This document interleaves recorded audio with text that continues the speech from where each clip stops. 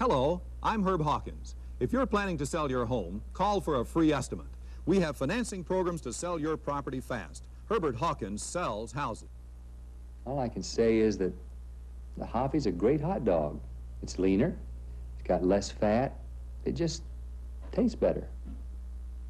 If you have an income but are overwhelmed by debts, there is a nonprofit debt counseling agency that can help. Call Consumer Credit Counselors. If you have missed our number, we're in the white pages. Getting out of debt is a trip from red to black. Let Consumer Credit Counselors help you with your financial problems. Sea Otters on Wild Kingdom tonight at 7.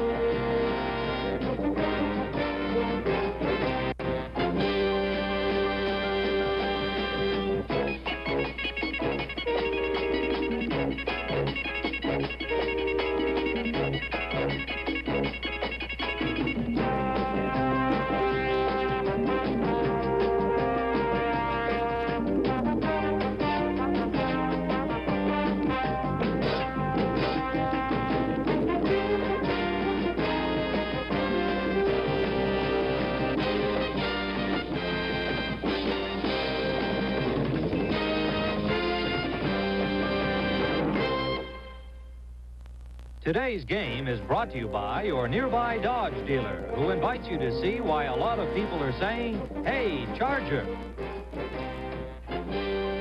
From the Spectrum in Philadelphia, home of the Stanley Cup champions, it's the NHL on NBC. This afternoon featuring the Los Angeles Kings and the Philadelphia Flyers.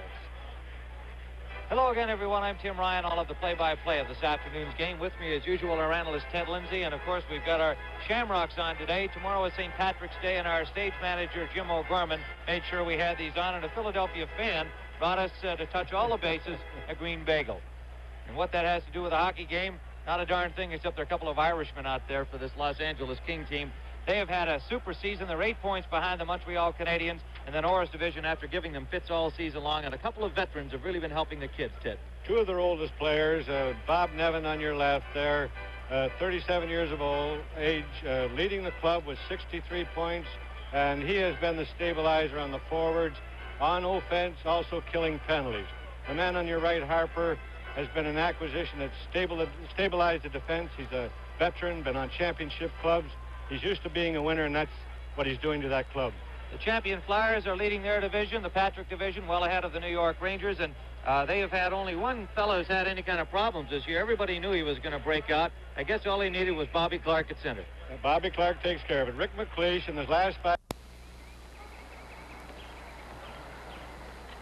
Well, things are looking up around here these days. For a while, Ed and I were really dreading a get-together with a life insurance agent. Oh, we knew with the children and all, we needed more protection. We didn't want to go through all the hassle. Well, there wasn't any fuss. Ed's dad recommended Northwestern Mutual Life, the seventh largest life insurance company in America and a leader in low cost. The Northwestern agent really listened and answered our questions thoroughly. He said that these days people have more to do with their money than just buy life insurance. That made sense. Now we have the protection we can afford based upon what we really need and we're convinced that the Northwestern does give us the best value for our money. And nowadays, that's important. Northwestern Mutual Life, the quiet company people have been talking about for over a hundred years.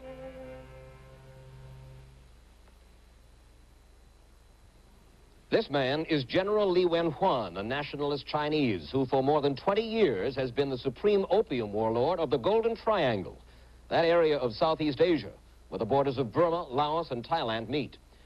20% of all the heroin reaching this country comes from the opium fields of the Golden Triangle. 60 Minutes went to Southeast Asia with some U.S. congressmen who wanted to explore ways of dealing with General Lee and the other opium warlords, to persuade them, even to pay them to get rid of the opium before it can be turned into the heroin that plagues our streets. The U.S. has dealt with General Lee before. Back in 1972, $1 million in American aid funds were paid General Lee to burn his current stockpile of opium, 26 tons. Enough opium to supply the American heroin market for six months. What you're watching as it goes up in smoke is a million dollars worth of opium. Converted to heroin, it would have been worth more than a billion dollars at street prices in American cities. But all this was a one-shot deal, and the poppy fields of the Golden Triangle still produce an annual crop of more than 700 tons of opium. The Asian poppy grows best above 3,500 feet. You can see the bright emerald green of the poppy fields dotting the mountain sides for miles. For these farmers, opium is the only cash crop. None of them pay any heed to a Thai law that forbids the growing of opium. The farmers plant in September and they harvest in January and February. When the petals fall, they use a three-bladed knife to cut the bulb in the late afternoon. During the night, the opium resin oozes out. In the early morning, before the sun dries it, the women scrape the dark, sticky sap and wrap it in headdresses or banana leaves to keep it moist. Then it is processed and pressed into bricks. Somewhere in these hills, we couldn't photograph them, are the factories that turn those opium bricks into heroin. How does it then find its way down the mountain trails to Bangkok and Hong Kong for transshipment to the United States? The Chinese in these hills are traders. They live in the valley towns, and they sell their endless variety of hardware and clothing and foods the farmers can't produce. They trade these goods to the farmers in return for opium. This is a trading village about halfway between Chiang Mai, the northern capital of Thailand, and General Lee's headquarters on the Thailand-Burma border. The mule and horse pack caravans use it as a stopover point in their opium trade with the hill tribes. The biggest store in town and the finest houses belong to the Chinese traders, the opium traders. This town and hundreds like it are scattered through the mountains, the first way stations on the long, corrupt heroin trail. Down there is the heavily guarded camp of the Chinese opium warlord, General Lee. No one is allowed to approach it by pack trail or to land here, except by order of the Supreme Commander of the Thai military forces. Our border police helicopter stayed at a discreet distance, and when asked to circle over the camp, the pilot patted his machine guns and turned away. General Lee and his 2,000-man army command the mountain trails. It is his soldiers who protect the trader caravans going north with goods and who guard the opium pack trains returning south. The general and his men collect a share of everything, going or coming. In 1973, when word spread through the Shan Mountains of Burma that General Lee had been paid a million dollars to burn his opium and quit trafficking, the Shan State Army rebels, who are trying to overthrow the government of Burma and who grow and collect their own huge opium crop, decided they wanted a piece of the action. Their idea was the same as General Lee's, get a top price for opium from the Americans. They reasoned that if General Lee could get a million dollars for 26 tons of opium, they would offer to sell the Americans 400 tons of opium for 12 million. Their proposals eventually reached Congressman Lester Wolff of New York, chairman of the House Subcommittee on Narcotics.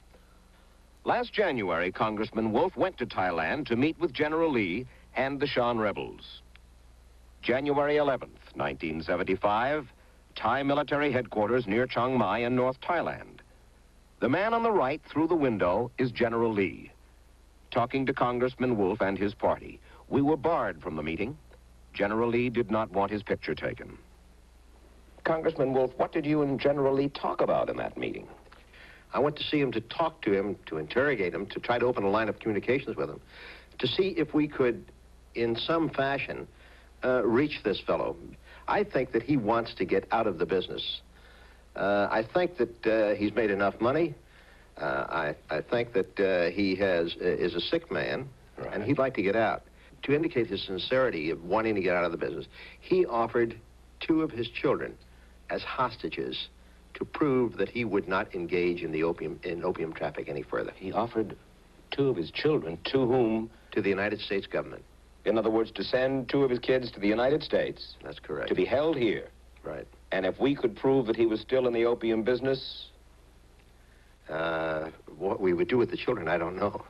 Uh, but that Of course, that's Oriental philosophy, and it's certainly not ours. Uh, he offered as well to come to the United States. Uh, the Thai government wouldn't permit that, and I don't think his own people would per uh, permit that. Uh, One gets the feeling that the Thai government has been tied, has been tied in with General Lee. He knows too much, therefore they're not going to let him get away. I, I think that's true. I think that a number of people in Thailand today are really making an effort to stop this traffic, but there are other people who are still involved and who are still trafficking. In the government? Yes, in some parts of the government. General Lee is so careful never to be filmed. Why? What's he afraid of? They said that uh, if he was photographed, uh, he was in danger of being killed. I don't know the rationale for that. I can't tell you. Killed by whom? Uh, by his own people. Uh, for even talking uh, to the Americans about this traffic. They don't want him to get out of the business. And you believe that he is out of the business or going out of the business? Well, he says he's in jade now. Uh, he's, he's smuggling jade.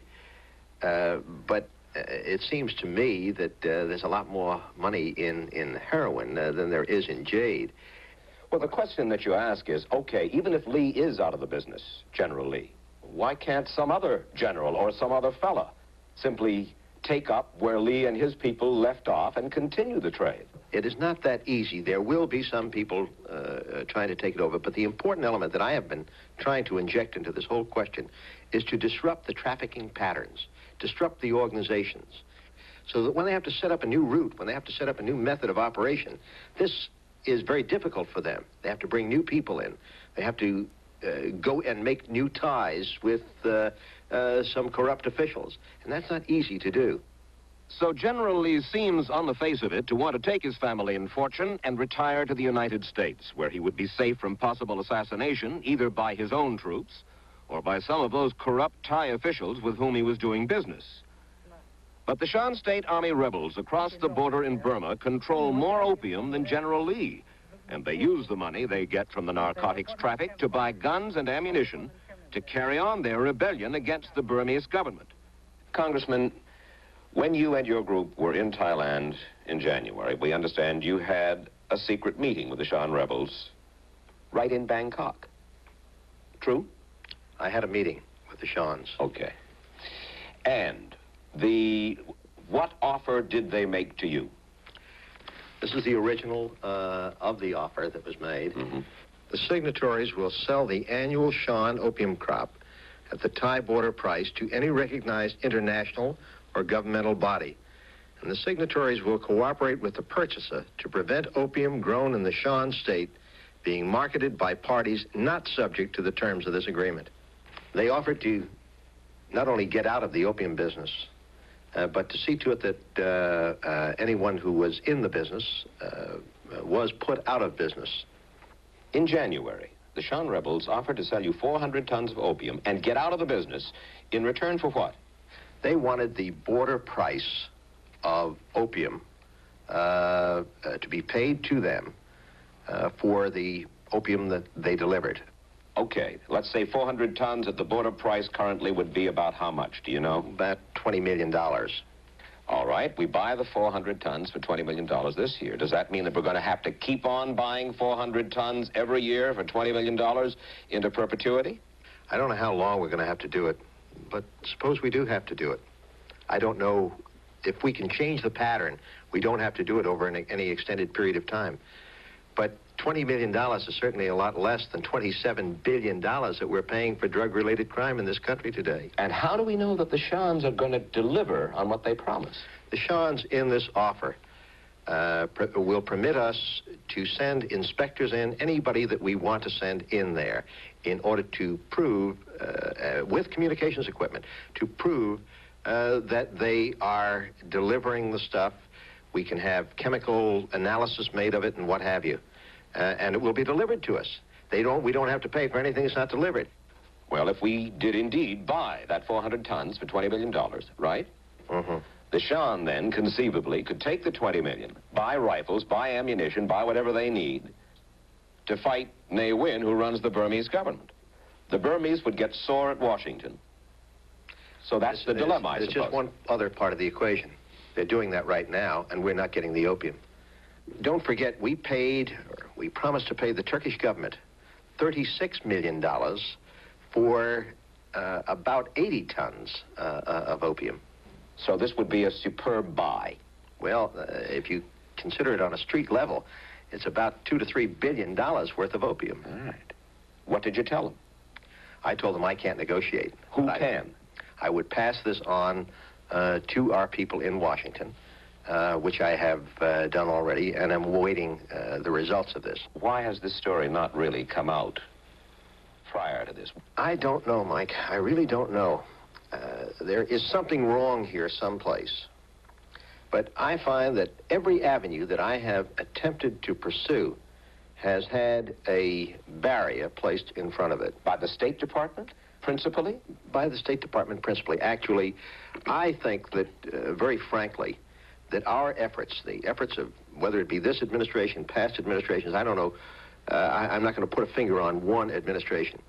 But I think that we're much more interested in fighting insurgencies in the world than we are in fighting drug traffic.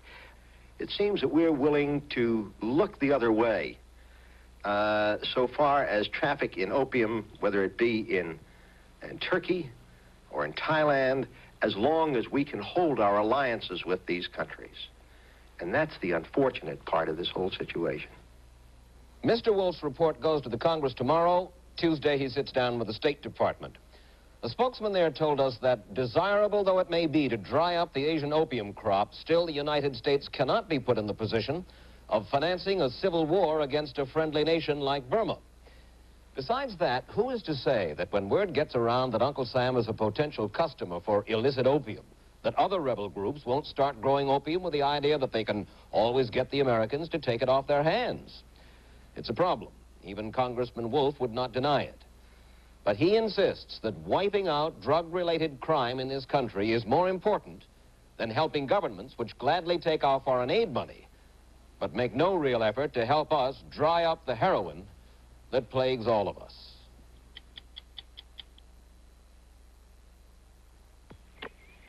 The first advice my Northwestern mutual agent ever gave me was not to buy more life insurance than I could afford, which wasn't much. But since then, he seen to it that my Northwestern coverage has kept up with my income, cost of living, and it's never put a big strain on me. Like I told my brother, the Northwestern knows there's more to do with your money than just buy life insurance.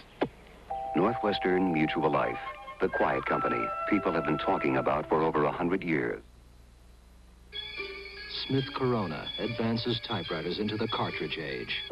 With this unique electric portable cartridge ribbon typewriter and Smith Corona cartridge ribbons, snap one in, and in three seconds you're typing on a fresh ribbon. For emphasis, snap in color ribbons or snap in a correction ribbon and errors disappear. The cartridge age typewriter, only from Smith Corona. It makes ribbon changing a snap. It's time for the news, and time for dinner, too. So while you're setting the table, why don't you pour everyone a nice cold glass of milk? Because you know three eight-ounce glasses of milk give you more than half your recommended daily allowance of protein. So finish setting the table. Make sure everyone has milk. Then sit back and watch the news. And who knows, maybe someone else will do the dishes tonight. Wouldn't that make the news? Nature makes some of the cleverest packages you'll see in any store. But sometimes it's hard to tell what's inside, to tell a great one from an ordinary one. It's the same with canned hams. How do you tell a great one from an ordinary one? Maybe nature doesn't hand out gold stars, but Armour does. A Golden Star ham by Armour is our leanest, tenderest, tastiest cut, the filet of ham. Delicious Golden Star ham by Armour. It's the pick of the crop. This week, South Vietnam is under severe pressure from the forces of North Vietnam and the Viet Cong. A number of district capitals have fallen. The Pentagon reports massive infiltration. That was this week, this year. Ten years ago this week, the situation in South Vietnam was exactly the same. Only then we responded by sending in, eventually, half a million Americans. Today, there's some question whether we'll send in a couple of hundred million dollars. Ten years ago, CBS News sent me to Vietnam to cover that war, which I did on and off for eight years of our involvement there. So on this, the 10th anniversary, we thought it might be useful to go back and look with perhaps wiser eyes. A memory of Vietnam. As much as we might want to forget it, I guess it's important from time to time to dwell upon it. And since we are people with a strong belief in the power of money and life, to see how we spent the $140 billion and the 55,000 lives. Ten years ago, we began coming in big numbers. Today, no matter where you go, you see the bones and hear the echoes of that tragic crusade. Okay, Joe, now when you start lining up, going to people standing right here. You're going to have to leave enough room if this line to go straight out to the entrance flags. 26, 52, 85, 85.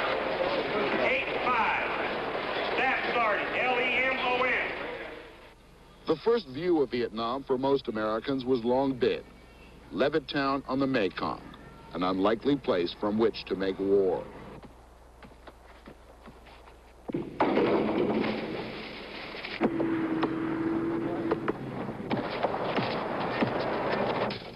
It was where our people were processed, where the war was programmed, where they stockpiled the body bags for the dead, the antibiotics to cure the result of a young man's first social contact with Asia.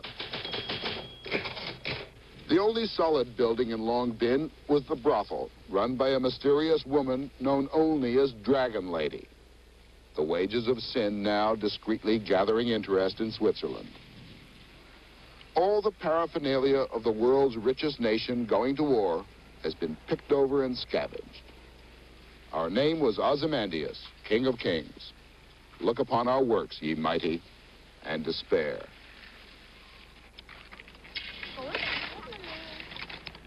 And around the decay of that colossal wreck, they still pick over the refuse of a generation of American excess.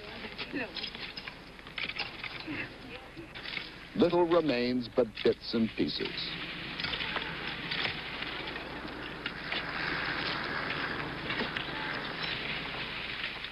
Archaeologists a thousand years from now will find no trace of us. Difficult to divine what manner of man we were. A band of giants, perhaps, that the Vietnamese will include in one of those epic tales they like to tell to children and other innocent listeners. Vietnam was a primitive agrarian society engaged in feeding itself and making war when we arrived. We left it a primitive agrarian society less able to feed itself, but still making war.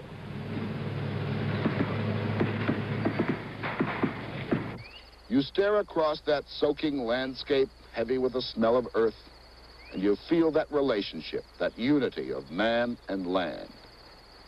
And you stare out across that same landscape and you wonder, what infectious madness sent us halfway around the world to make war here?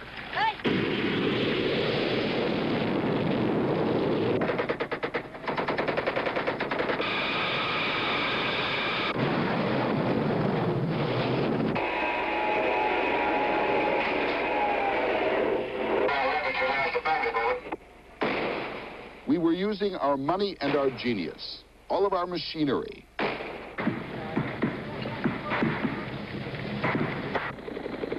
There we were with all that stuff and an enemy who wouldn't come out and fight like a man. Well, it appears that the little bastards have had enough and bugged out. Uh, in the last 24 hours, uh, they haven't fired a shot.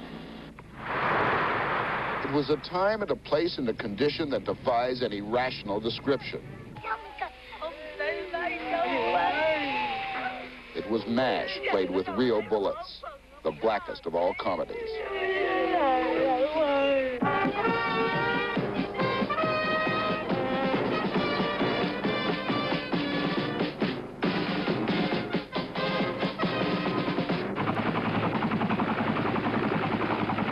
Uh, of 3, Pacer 6, over.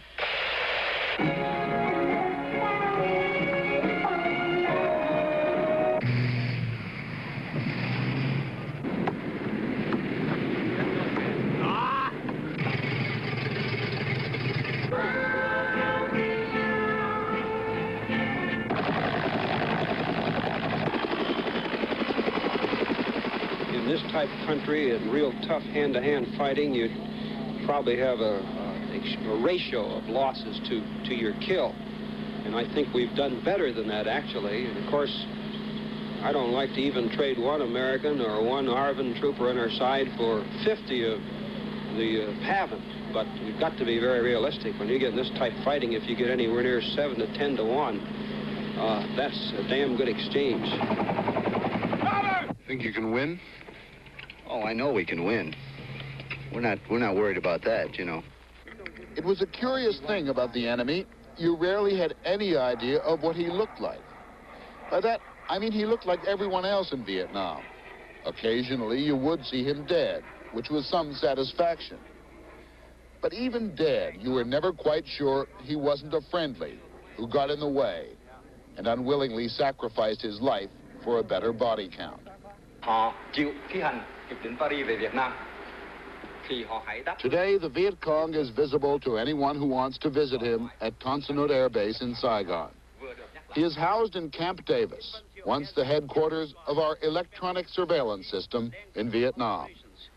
Nguyen Văn Thiệu and his like must be overthrown because they are the main obstacle to the achievement of peace, to the, to the implementation of the Paris Agreement, and the achievement of national concord. For the price of a boring lecture on the sins of Nguyen Van Thieu, reporters are treated to Vietnamese burgundy and other bourgeois delights from Hanoi. the good guys and the bad guys share GI housing at Camp Davis. You can tell them apart easily. The Viet Cong are the ones who look like soldiers. God knows we tried. We pushed and bullied and bribed and threatened to make our Vietnamese as good as their Vietnamese. Maybe ours didn't much care. And so we leave the Vietnamese army as we found it, in picnic formation.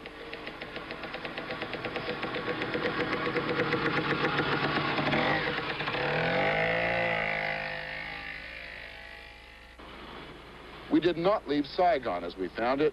It was once a fairly sedate city with an undertone of wickedness, like a very high-class whore. Now, it's lost its class.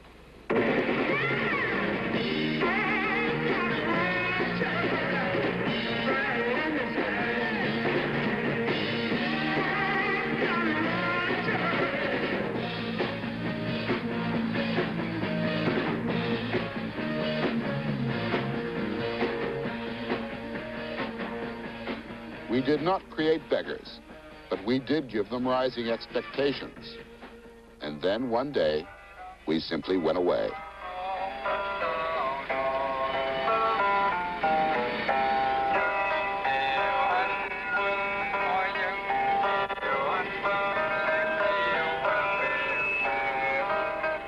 Medicine, free American magic to cure the sick and the wounded. Easier to obtain for money in the black market than in hospital in Vietnam. And a bitter little relic for sale as key rings, the Purple Heart, symbol of spent American blood. Swords have not been turned into plowshares, but shell casings into candlesticks, baubles, and bells. Ashes to ashes, junk to junk. And we created the Honda plan, designed to stimulate the economy, get people to spend. It made Japanese cycle manufacturers richer and city streets as dangerous as jungle paths. And we leave behind this cathedral of an embassy. So long as you stayed inside it, you could see light at the end of the tunnel. Outside, there was only a tunnel at the end of the tunnel. Much as war has become a pastime in Vietnam, so has plotting. They are plotting to overthrow President Thieu.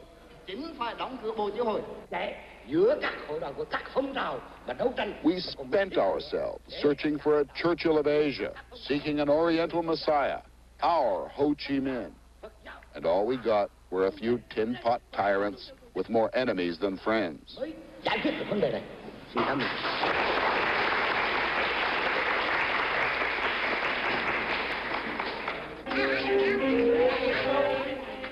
We left behind more than half a million refugees, and a million people unaccounted for. With all those computers, we managed to unaccount a million people.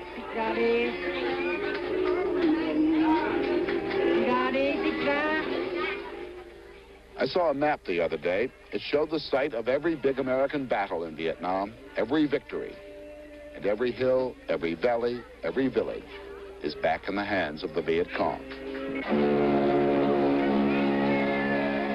Ten years ago, we began coming here in big numbers, not knowing perhaps that winning hearts and minds is a complicated and dangerous business.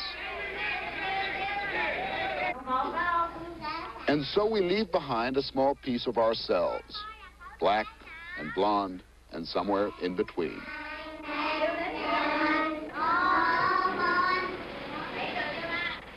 Disowned with equal casualness by their Vietnamese mothers and American fathers. Round-eyed, black-skinned freaks in this society, looked after with American conscience money.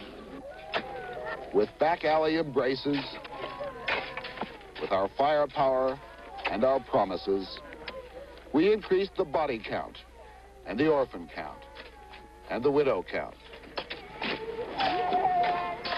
A ring of graveyards is beginning to enclose the cities of Saigon and Da Nang and Kontum and Tay Ninh and all those other places that most Americans would just as soon forget. That ancient Buddhist symbol of well-being, the swastika, graces each headstone, making the whole affair even more gruesome to Western eyes. It could be argued that had we not come, they'd be just as dead. Maybe. But we came and promised. Just a little more war and there would be nirvana.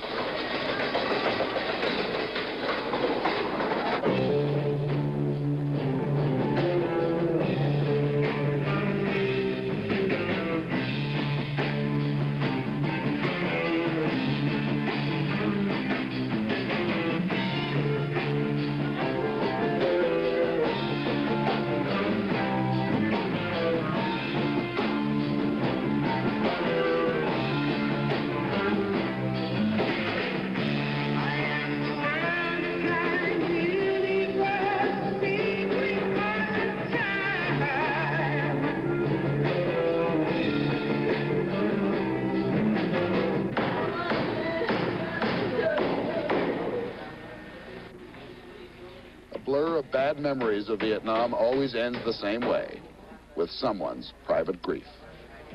But they tell us that Asians take death easily, lightly, with great fatalism and restraint.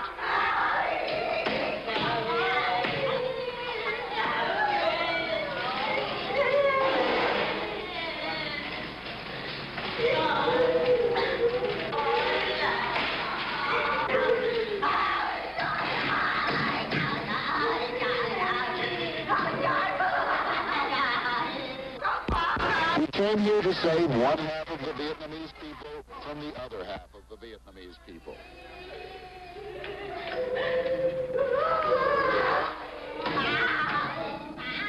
We came here to win the war that the French grew weary of. We came convinced that as a nation, we were made of sterner stuff. That as soldiers, we had more courage. As tacticians, we understood the enemy. But it all ended much the same.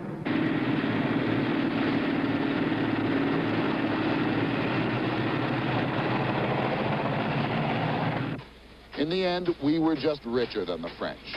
We could afford to take our dead home, to bury them in native ground.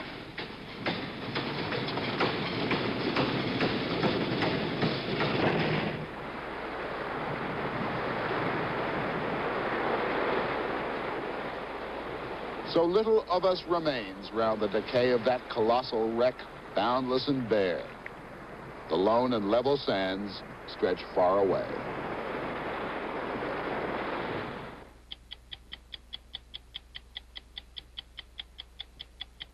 If you ever use a hemorrhoid preparation, you should know this. Vaseline Brands has news. It's hemorrhoid ointment, made to work fast, help protect with a proven medical ingredient for soothing occlusion. And hemorrhoid gives you only this key ingredient, so it gives you more than the leading preparation. Now, at your first sign of pain, burning, and itching, turn to soothing Vaseline Hemorrhoid. It's new. Use only as directed. When I bought life insurance, my Northwestern mutual agent said to think of my Northwestern insurance as a partner for when I retire or for something to fall back on. But most important, my life insurance is a mighty strong partner for my family. If anything should happen to me, it's a secure feeling. Especially if your partner is the seventh largest life insurance company in America. Northwestern Mutual Life, the quiet company people have been talking about for over a hundred years. This portion of 60 Minutes was sponsored by Northwestern Mutual Life, the quiet company people have been talking about for over a hundred years. 60 Minutes will continue after station identification. A CBS News special looks at a country divided and living with violence. A tale of two Irelands, Thursday on CBS. We're the kind of people who don't like the usual drinks. Dry sack on the rocks is our drink. It's a very special sherry. Dry sack is smooth and light and unusually appealing. Perfect before lunch or dinner. It has the body and the full, rich, nutty taste of stand-up to ice. Dry sack on the rocks changed our minds about sherry. Dry sack, the sherry in the sack. Imported from Spain by Julius Wile Sons and Company, Incorporated, New York. KNXT, Los Angeles.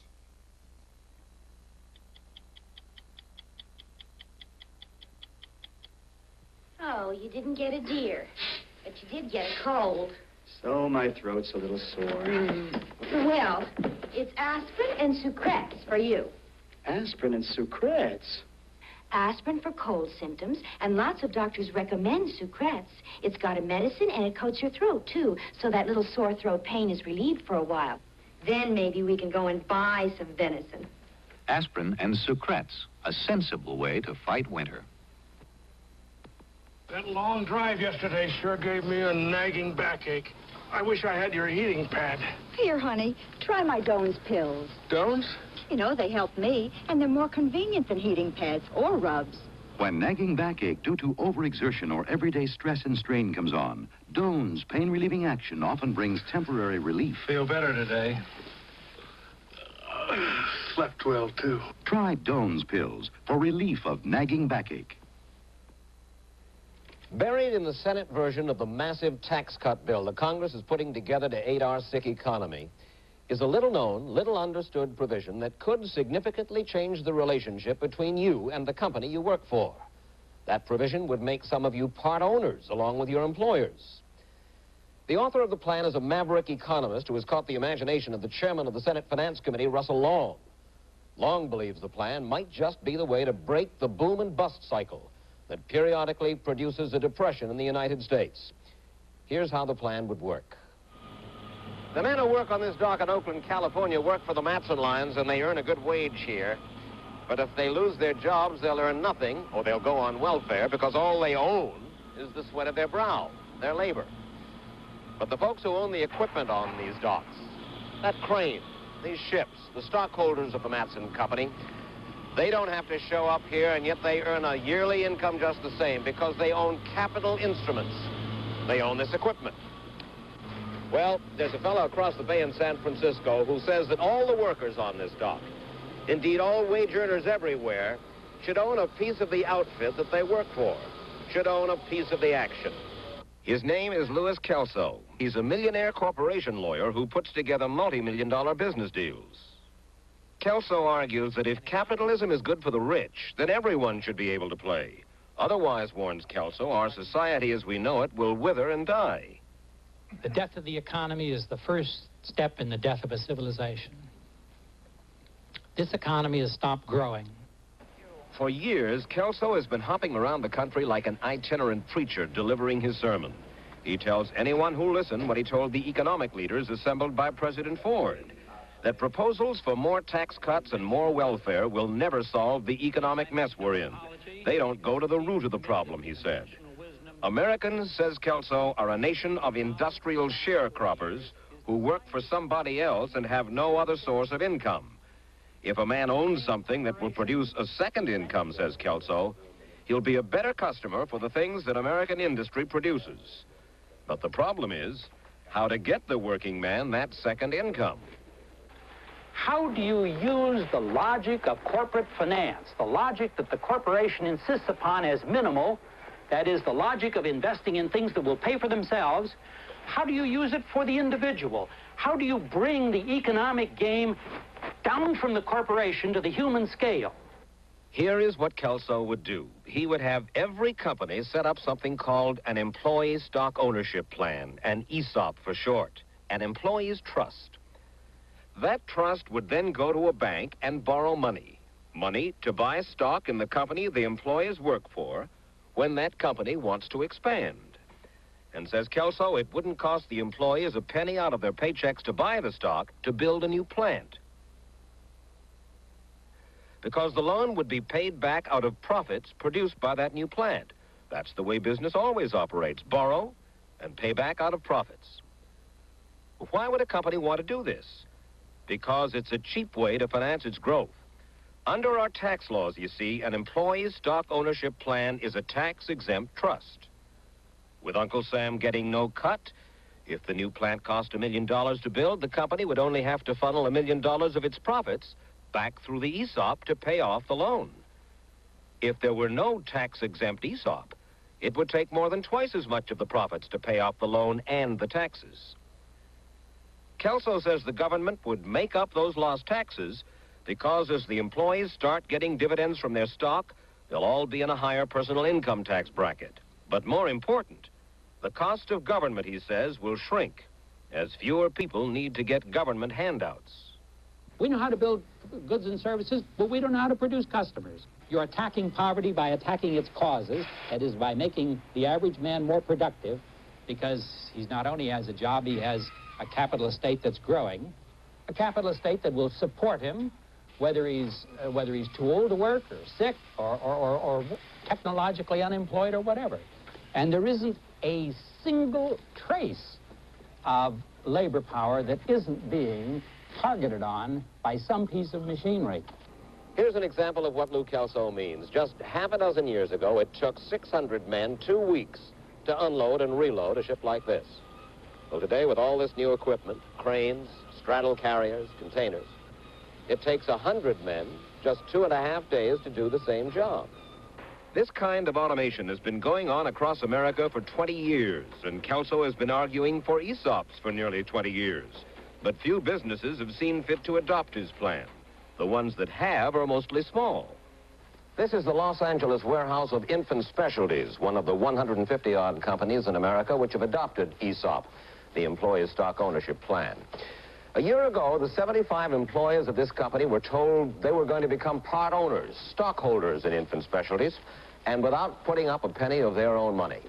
The man who did it for them, the man who took over this company a year ago, is John Carter. How much did you pay for this company a year ago when you bought it? Just a million dollars. How much of your own money did you put up? I and some colleagues put up 250000 So you borrowed the other 750 That's right. You went to an ESOP. Why? I wanted the employees to buy this company. I wanted them to pay off this loan because I wanted to be sure that they were working on my side and make my investment a good investment. So uh, they will own their stock. They'll own 75% of this company in eight years. Even more, right. Of course, Carter's rosy predictions may not pan out. The business could go sour, but the employees wouldn't have any personal liability. As in any other bankruptcy, the creditors would just seize whatever assets the corporation has. Russell Long, chairman of the Senate Finance Committee, is Lou Kelso's most ardent supporter on Capitol Hill. He is pushing to make the ESOP a major form of corporate financing. Now, what you're trying to do here deserves a trial. It uh, has been very successful where tried, but so far it hadn't been tried on the big scale in the that it ought big be world. tried on. Right, Yep. right. And I think we're going to get that. Getting ESOP into the big time means winning over big labor, and that's a formidable stumbling block. Kelso outlined his plan to the executive board of the National Maritime Union, who looked at him with some suspicion. When I first read your plan, I saw the whole thing as a union busting plan. We're going to be representing workers who are now are going to be part of management. They're going to be stockholders in the company. Why are they going to need us as union leaders? The union will represent the workers as workers in all of the aspects that it represents them today uh, uh, wages, hours, working conditions. And it will represent them as stockholders, as owners.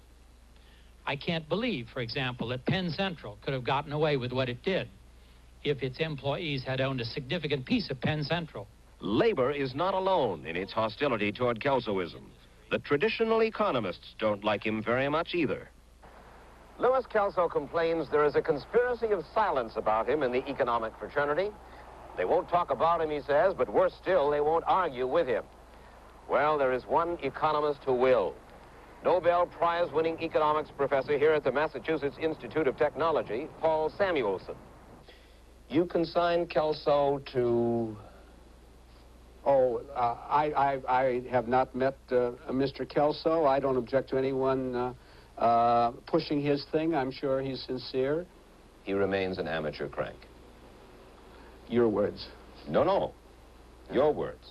Uh, I, I think that uh, Kelsoism at this point of scientific knowledge has is amateur crank like other uh, interesting forms of alchemy. Samuelson never made it clear just why he so disdainfully dismisses Kelso's ESOP plan. His main objection seems to be that the ESOP plan is predicated on loopholes in the tax laws. It really has a Marie Antoinette-ish ring to it. Uh, let them own capital. Paul Samuelson calls Louis Kelso an amateur crank. Mm -hmm. How come?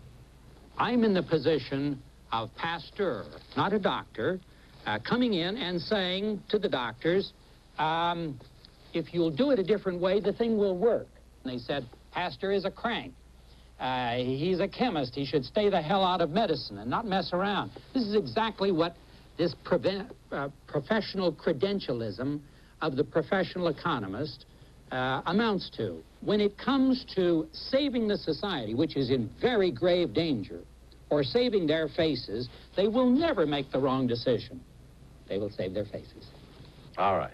My understanding of Kelsoism is that it's designed to enable men who are born without capital to buy it, to pay for it out of the income it produces, to own it, and thereafter to receive income from that capital. Devoutly to be wished? Oh, oh, oh yes, and uh, it would be nice to have lollipops uh, uh, grow on trees for the picking. The only thing that you object to really in Kelsoism is the fact that it uses a tax loophole to, to give the workers stock in the Th company. That is my, my, my primary uh, criticism. Now, you tell me that Senator Long is interested in this. I'm distressed. I'm distressed because Senator Long is an influential senator in connection with the closing of tax loopholes and the opening of them. What he calls a tax loophole is there already. It was there when I became a senator 26 years ago. There are all sorts of things like that in the tax code. I could uh, dredge up a hundred of them for you very easily. Uh, the question is, do they achieve a desirable social purpose? I think that the idea of encouraging the people who work for a company uh, to own an interest in the company is sufficiently socially desirable to give it favorable tax treatment. Uh, we're going to be asked to bail out a lot of companies like the Penn Central, the Lockheed, and others. Uh, right now, we're being asked to uh, uh, to help uh, Pan American, and I'm telling Pan American Airways. Well, now here, if you fellows want us to put government money behind your company and save your big airline for you, I want you to have an employee stock ownership plan for those employees who right now are out lobbying to try to help save that company. Lou Kelso says that this will stimulate the economy, and what will it do to the current recession? It will bring more production to your economy and therefore more wealth to your economy. It's almost like Alice in Wonderland sitting here, sitting here at a time when unemployment rates are rising, when inflation has been skyrocketing, when the economy is apparently in recession and conceivably going into depression, and you are talking as though, uh... the problems are solvable. Right. Well, we've had 40 years of Mr. Samuelson's brand of economics, and it brings us right back to where we started, another depression. Uh, it's perfectly obvious that something's missing, and I say the thing that's missing is We're pretending that you can solve the income distribution problems solely through employment. In the meanwhile, the scientist, the engineer, and the manager is hell-bent on destroying employment. That's, that's how he measures his success, how much employment he can destroy. By putting in machines. By, by substituting machines for men. Right. So, let the unemployed own machines, and everybody's going to be happy. Right. Unemployment is not so bad if you can afford it. This week, the U.S. Senate will begin debate on the pros and cons of Louis Kelso's ESOP. Radio Shack has the perfect answer for anyone who hasn't bought a telephone answering system because the price was 99 to $150. Well, for one week only, you can buy Radio Shack's Duofone telephone answerer for just $59.95. Answers in your own voice and tapes the caller's message so you never miss another phone call again. The sale-priced Duofone answering system. And there's only one place you can find it, Radio Shack.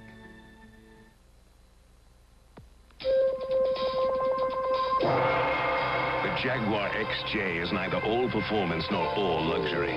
During its design and development, Jaguar gave no absolute veto power to either stylist or engineer. For the Jaguar is a complete motor car, one that performs its function as a road car with agility and stamina, yet offers its owners those elusive qualities of grace, dignity, and exclusivity. At last, an oven cleaner that cleans like no other oven cleaner can. Arm & Hammer Oven Cleaner. It wipes clean easier than the leading brand, even on baked-in grease. No fumes, no gloves needed. Here's the difference. Theirs uses lye, which when wiped, leaves a film coating that you can actually feel and smell when you cook. So you have to wipe again and again. Ours turns to a dry residue, which is easily and completely wiped away. Arm & Hammer Oven Cleaner. Johnny Miller and a great idea have just come together. The result? New Johnny Miller menswear.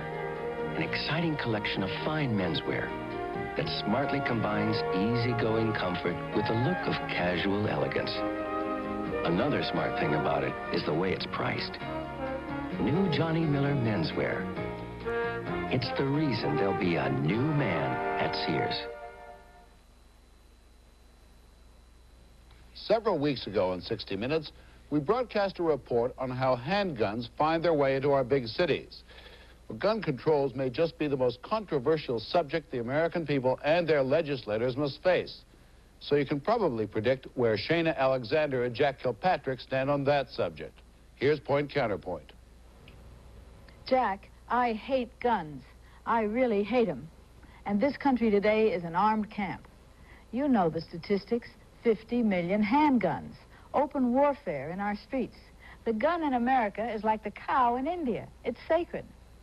Jack, I hate the sight and the presence and the idea of guns for one simple reason. Guns make it too easy to kill people. They say that guns make puny people powerful. They say Americans have some sacred right to bear arms. That's two phony ideas, and that's the gun mystique, the mystique we live and die by. We practice assassination politics. We make foreign policy with nuclear warheads. Our highest art form is the fancy shootout. Save that for the movies, Jack. Congress knows what to do, but they won't do it. We should outlaw handguns and tighten controls on sportsmen drastically. But the Congress itself is steeped in the gun mystique. This country is ruled by deaf old men who by day hear only the deadly blather of the gun lobby and whose nightly dreams throb with the echo of boyhood bang-bang games. I despair, Jack, because those deaf old men never hear the rattle of the gunfire in the streets. They can't hear the death rattle of our civilization. Okay, Shana, under the rules of debate, I'm stuck with the other side, and I'll debate the other side. But don't put me in bed with some of those kindergarten constitutionalists and sophomore slogan makers opposed to gun control. Those who cite the Second Amendment seldom tell you that the right to keep and bear arms is tied directly to the necessity for a well-regulated militia. And the bubbleheads who say that guns don't kill people, people kill people, have bumper stickers for brains. But the trouble, Shana, is that gun control sounds easy, but it isn't. One idea is to buy up handguns. Baltimore tried that idea, spent half a million dollars, and got nowhere. Another idea is registration and licensing. But law-abiding men would resent such a requirement and criminals would ignore it. You could try to prohibit the sale and transportation of a Saturday night special, if you could define it. But the country has had one miserable experience with prohibition and doesn't need another. Now, one thing might help. Tough additional sentences for the use of a gun in the commission of a crime. If these were imposed, eventually we'd get a lot of gunslingers off the streets and into prisons. But such double-barreled laws already are on the books, and juries and judges won't put them to work. Now, Shana, maybe a successful program of gun control can be devised, adopted, and enforced. A plan that would prevent the criminal from getting a handgun without leaving the law-abiding citizen disarmed and helpless. But no legislative body has come up with it yet. What we have now is madness, I agree, deadly madness but it's a kind of madness that won't be cured by merely passing unworkable laws. We knew when we did our story last week on the problems of getting rid of sludge that it was an important issue, but we were surprised that it brought such a big response. Far and away, most of the mail that came in was on sludge. Of the many letters we received, most offered a solution. Here's one. If we could get the Arabs hooked on using our sludge for reclaiming their deserts, Maybe after a few years, we could get $10 a barrel for it. Another viewer said, pack it off to Cambodia. Then the epithet dirty little war would take on real meaning. Another viewer, obviously not enamored of the U.S. Postal Service, wrote, there's only one solution. Package it, mark it fragile, and mail it, and it will never be heard of again. About our story on the high school class teaching the facts of economic life to teenagers who might be contemplating marriage, a viewer wrote, if my sister had taken such a course, perhaps my parents wouldn't now have her and two grandchildren to feed.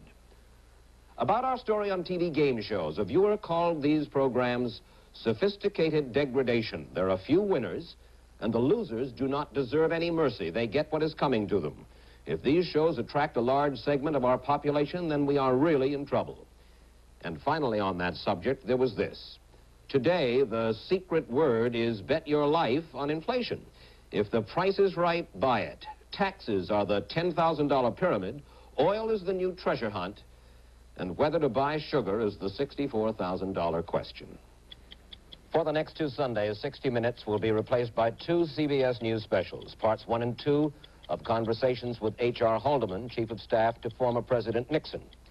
I'm Mike Wallace. I'm Morley Safer. We'll be back April 6th with another edition of 60 Minutes. Grandma! Hi, darling. Your hair's different. It's so pretty. Well, I use Johnson's baby shampoo like you. Oh.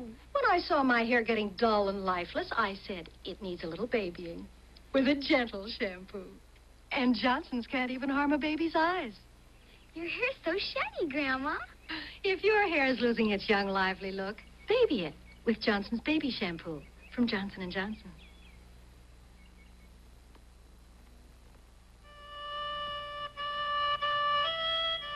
Many of nature's most fascinating creatures are in danger of vanishing from the face of the earth. To remind people about our precious wildlife, we put several species on stamps. Past stamps like these have always made stamp collecting fun. New and different stamps come out every few weeks at your post office. A place to discover the fun of stamp collecting.